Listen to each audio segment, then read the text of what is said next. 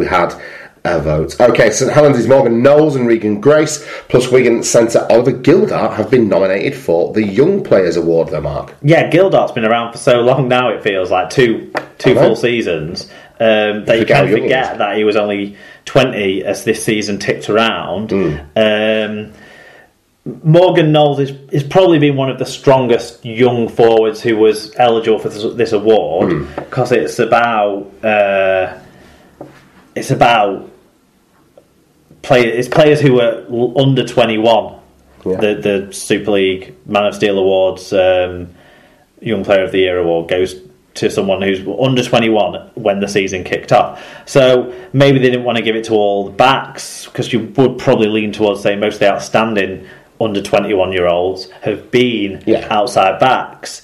But Morgan Knowles has had, a- I guess, a strong season for St Helens. I, it didn't jump out to me as mm. someone up for the award, but when I sat down and thought about how many young forwards had made that much of an impression that were eligible for the award, I sort of understood if they wanted to put a different type of player in there Yeah. rather than it just be the two people who I think are significantly notable omissions from this list, which is Tom Davies and Liam Marshall. Yeah. And that might sound, you know, biased and what have you as, as a Wigan fan, but I'm pretty sure people who've watched him play and seen some of the some of the finishes that Marshall's managed to manufacture for himself.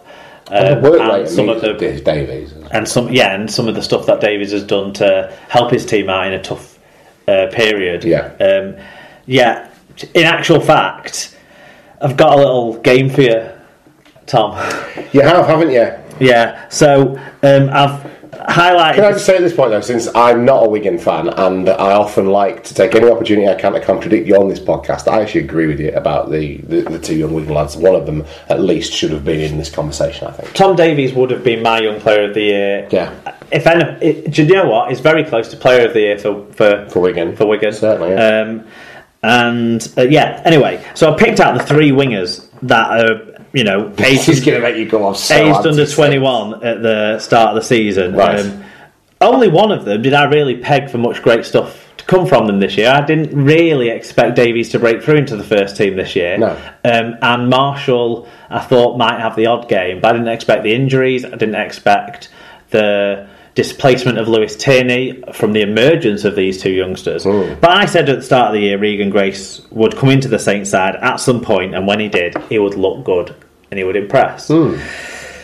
But anyway, so yeah, three wingers winger one, winger two, and winger three, Tom. Okay, Okay. I'm going to run through the, the stats for the games they've played, the tries they've scored, the assists they've made, the tackle busts, the clean breaks, the metres per game, their metres per carry, and then the number of errors they've made. Yeah. Okay? Okay. And then you can guess which one is which of the three wingers and which one's the one that's on the, the short list. Okay. So, Winger One has played 21 games. He's scored 21 tries. He hasn't actually set up any for his um, for his teammates, Yeah. but he's got a try a game record in Super League this season. Yeah. He's made 65 tackle busts, um, which is sec- ranked two of these three. Yeah. Um, he's made 28 breaks, which is ranked one of these three. He's made 102 metres per game and 8.2 metres per carry. Both of those are ranked three, third out of these three. Um, and 19 errors, which is the second least of these three. Okay. Winger 2 uh, has played Do 20. I get to tell you who I think that is yet? Well, we'll do them all three first. Okay. Winger 2 has played 22 games. So, does this count towards my quiz tell? No. He's played 22 games. He's scored 10 tries, so the, the, the fewest amount of tries of the three players I'm going to talk about. One assist, which is tied first. 66 tackle busts, which is one more than winger one. Mm-hmm. Yeah. That makes him the most uh, in this category. 19 clean breaks, which is the least. 113 metres per game, which is a little bit more than the, the, the one we just talked about, but significantly distant 2nd Mm-hmm. 8.7 metres per carry, which, um, if I went to two decimal places, would be fractionally put him in second place, but let's say tied first. Yeah. 29 errors, which is 10 more than second place. Yeah. Uh, there. Winger 3 has also played 22 games. He scored 13 tries and one try assist, so more tries than winger 2, but not as good a strike rate as winger 1. 57 tackle busts, which is the lowest in that number, but he's made 23 clean breaks and a massive 153 metres per, per, per game, sorry, which isn't just the best of these three players, it's the best of any player who played more than 10 regular season games um, Yeah. slash no, sorry, Super League games. So Okay. over the thirty games, Yeah. anyone who played more than ten in any position. Uh, 8.7 meters per carry, 16 errors. So, by, so you know the fewest there um, in that count. Can you guess which one is the one that's in the dream in the young player of the year conversation? Well, knowing enough about Grace as I do, and um, no, probably there's a reason why we're doing this. I would say, it's, I would say it's probably is it, is it winger two, Mark, the one with the least tries and the most errors? Yeah, it's the one with the least tries, the least clean breaks, and the most errors. Okay. Winger one is Liam Marshall. That's correct, And winger yeah. three is Tom Davies. Yeah, who would be my? Uh, That minutes per carry, uh, that minutes per game, and the minutes per carry stat is, is just phenomenal for a young man, isn't it? And he's played down the side that Wigan don't go to as much in attack. We gave those stats out earlier in the year, didn't I? When I was sort of bemoaning Wigan's reliance on one side compared to say Castleford, who were scoring freely on both sides because they were playing so much better than other teams having. Um, Wakefield have scored freely through both wings this Yeah. season as well, for example. Uh, yeah, there you go. I, I, I just as good as Regan Grace is, as much as I enjoy watching what he can do and how he runs and that sort of stuff, I just can't understand if they were only going to pick one winger, why the third best winger eligible based on performance and stats is the one that's got in to go. the conversation. That's all. But you know, Who gets your vote then out of Knowles, Regan Grace, and Gildart? I suspect Gildart. uh, yeah, it's close between Grace and Gildart, but I would I would edge towards Gildart. I would also edge toward Gildart, and it pains me to do this because again, it's just turning into the "we agree with each other" podcast. Um, Morgan Knowles has had a good season um, without ever really, really setting the world on fire for me. Regan Grace is exciting and enjoyable to watch when he's running ball in hand, but there is elements to his game that he needs to fix up. Whereas Ollie Gildart, for me, really can only kick on, and, and he, he's at the point now in his career where he will either over the next two years go on to be totally world class, or he will remain a very, very good player. I don't see there being a drop off. I don't see there being many holes in his game. Yeah. um, and I, and that's at a young age. That was at 21 at the start of the year. So he's got 20 at the start of the year. 20, forgive me, at the start of the year. So he's got another 10 to 12 years ahead of him where he could really hit the heights, and he Let's hope so. exhibits those qualities, doesn't he? Okay, uh, Francis Cummins, remember him, has secured a return to rugby league as Dennis Betts. No, no, no, no. We've missed Oh, a bit out. Have we? Yeah, we missed the dream team that I was going to. Oh, of course, it's I apologise. And I also. Meant to say the youngest of those three is Tom Davies. Yes.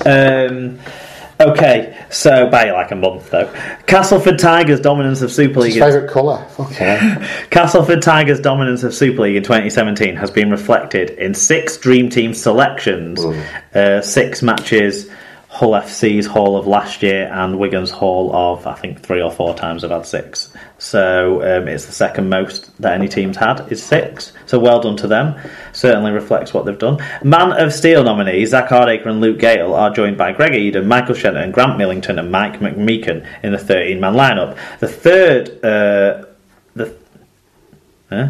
The third of the players nominee nominated for this doesn't read well, does it? Whatever I've copied and pasted. The third Man of Steel nominee, Albert Kelly, is one of two players from the Challenge Cup winners Hull FC. Leeds, Saints, Wigan, Salford, Huddersfield all contribute one player each to the Dream Team. yeah. And the Dream Team is, if you haven't seen it already, Zak Hardaker from Castleford at fullback, Greg Eden on one wing, with Michael Shenton, his Castleford teammate, uh, as one of the centres. Mark Percival of Saints is the other centre, with Mahe Fonua of Hull on the other wing. Albert Kelly of Hull and Luke Gale of Cass are the halves. The front row is Grant Millington from Cass, Matt Parcell from Leeds, Seb Ikahihifo from Huddersfield. Then in the back row, it's Ben Murdoch Masila from Salford, Salford's second ever selection only um, in the Dream Team since 1996. So well done to him and to them. Mike McMeeken of Cass and Sean O'Loughlin of Wigan is the loose forward. Um, and yeah, we got some some feedback and stuff. I'll get that up whilst you give me your views, or they give the good people your views. Yeah, I don't have a lot of problems with this. Look, everyone's been talking about the prop forwards, and you know Watson, Walmsley are the ones that you know are the big ones to miss out. And I think in, in prop forwards, you're always going to have your home favourites, and there's always going to be in pretty much every team. There's one guy who does that job. I don't think it's necessarily fair on Seb Ikahihifo that he's coming in for this level of stick. Has had a tremendous season, absolutely, and Liam Watts is a phenomenal forward. But Hihifo has had a breakout year, and his running of the ball uh, has been has been absolutely dominant. And he skittles guys out of the way, and I think he, he deserves his place in the dream team. So Has that been a big controversy? Then? seems to have been what I was following on Twitter. I just assumed the big behind- controversy was a Wigan player being in there. Well, we'll get we'll get to that in a minute. Um, Because that's all I saw, to be honest. I, did, I saw suggestions about other props who should have been in there. Yeah. I think prop was the hardest position to pick. course it is. This this this year, I think prop was the toughest because there was there was four or five Yeah. who were so good yeah, there was a that fact they paper- all could have been picked. Fact paper between for me. Grant Millington thoroughly deserves to be in there, though. Um, I agree with Parcell at hooker. I have no problem with that. Um, ben Murdoch Masila in at the second row. That's the one I would have changed. I would have had Liam Farrell in, in second row for me Oh, this year. still No, well, I knew that as soon as I said it, but I'm going to be true to myself. I think, yeah, I think Liam Farrell. Ben Murdoch Masila started the season well, but he's been part of this Salford squad that has just been like plummeting down the league and has only recently kind of come back into form. So he would Has he have come back into form? Mm, exactly. I'm I'm trying to do him. I'm trying to do the compliment sandwich for him. Um, so Liam Farrell would have gone in for me. Percival in at centre. You can't question his talent, but again, he's he's he's got an error in him. Um, I look. There's too many Castleford players in this for some people's likings. I would have gone Jake Webster. Um, I think Webster's had a fantastic season. Not not Junior Sa'u. Talking of other players, Again, though- for, for twenty games played phenomenally well. Yeah, well, this is the thing. If I'm if I'm saying that for Ben Murdoch Masila, I can't then stick Junior Sa'u in. But Junior, and, and I think we all know what a big wraparound Junior Sa'u I am. Um, lockers, I don't disagree with necessarily because I think you want. I like a loose forward who can who can ball play, and there is no one better than him at that job. But maybe Cuthbertson in at loose forward would have been Well, a shout. That's the thing I've heard I'm not kicking off about this. I might have been tempted to go with Cuthbertson at loose forward to squeeze him in, but then I would have felt a little bit bad for Walmsley and Watts, who've been well. Watts over the last two months Hmm. has been as good as any prop forward other than Luke Thompson. Yeah. Those two have been as good as uh, you know in the in the league. Certainly run on team wise as well. Yeah. Um, and Alex Walmsley has been sensational all year. And I would have felt bad sort of elevating Cuthbertson, who I put behind Yeah. Walmsley and Watts, Yeah. on a par maybe with Taylor and Thompson, Yeah. but behind those other two, jumping them ahead of them to put in a position that actually, if you actually look at where his team have named him on the team sheet, Yeah. and I'm not talking about where he might have ended up playing minutes in games, because that's hard to tell with middle unit forwards now, isn't it? Yeah. Unfortunately. Um, so it makes the differentiation a bit less. Whereas Lo- Sean O'Loughlin still demonstrates He's loose forward forward in the fact that he, you know, kicks and passes probably. covers and offloads a lot and does pass a bit, but O'Loughlin probably plays more of a playmaking role than any other Hmm. loose forward. And we've all harkened back to the ball make the ball playing loose forwards of sort of the early years of Super League in particular, like Farrell and Sculthorpe and Hmm. um, what was his name Smith at Hull for a period and people like that. And um, yeah, but. Uh, O'Loughlin's played like 22 games or something, and in particular in the Super 8s, and certainly over the last month, his last three or four games, hmm. has been absolutely brilliant. Yeah. And maybe that's edged him into the conversation because he was patchy throughout the rest of the season. There was some great games, there was some not so good games. Yeah. Now, what I think about some of these toss up calls is they've gone with the player who's had the biggest difference on their team. Yeah. So Percival, maybe we say he makes a lot of errors, but he makes so many errors because Saints, For so on- long in this season, relied on him to be, as well as, you know, Roby and Walmsley, but Percival was their strike threat in Yeah, the backs for that's so right. much of this season. True. Um, and he was so good at doing that, even though he was making a lot of errors. He's way up there in the error list, actually. But you know, Albert Kelly's always up there in the errors too. But he's been a bit of a game breaker at times, Yeah. as well. Um, and because people just seem to forget about the most try assists in the league, um, and the fact that in the regular season he was con- George Williams was contributing more tries and assists combined than any other halfback in the competition, including Luke Gale. People forget, maybe I don't know, about him because he's been so off the boil in the last seven weeks, two months. So that Albert Kelly's the obvious choice there. Now Percival makes a huge difference for St Helens with what he's contributed this season, so I think that's why he's been ahead of other good performers in the centres. Um, Parcell, it was Parcell or M- McShane, wasn't it? Yeah, Really, yeah. if, if we're honest. And Parcell has been so integral to Leeds this year. Yeah. Hit the ground running in a new competition and absolutely destroyed the opposition. So I think Matt Parcell is in there ahead of Mick